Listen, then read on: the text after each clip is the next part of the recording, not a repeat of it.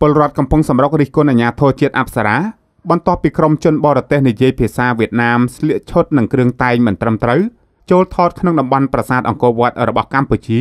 ហើយផុសបង្ហាញអត្តសញ្ញាណថៃទៅវិញ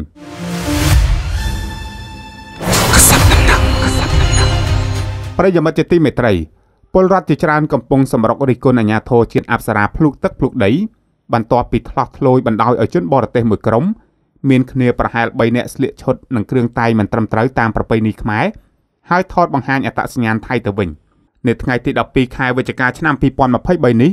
អ្នកលេងបណ្ដាញសង្គមជាច្រើនបានលើកឡើងថាអាញាធរជាតិអប្សរាតឹងតែងល្អណាស់ខ្ជាប់ខ្ជួនល្អណាស់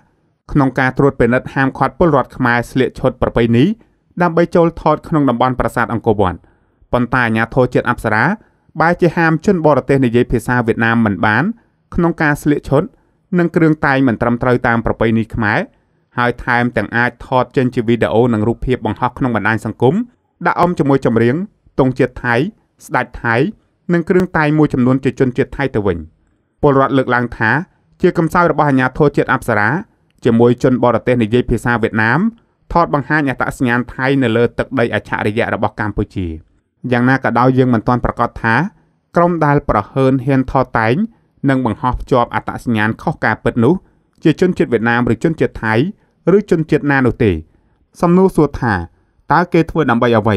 គេកំពុងញុះញង់ឲ្យប្រជាជននៃប្រទេសជាញាតិជាប់របងស្អប់គ្នាឬ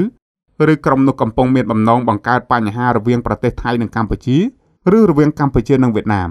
ដូច្នេះសូមមេត្តាអាជ្ញាធរពាក់ព័ន្ធចាត់វិធានការច្បាប់ឲ្យបានម៉ឺងម៉ាត់ជាទីបំផុតដើម្បីកិត្តិយសជាតិកម្ពុជា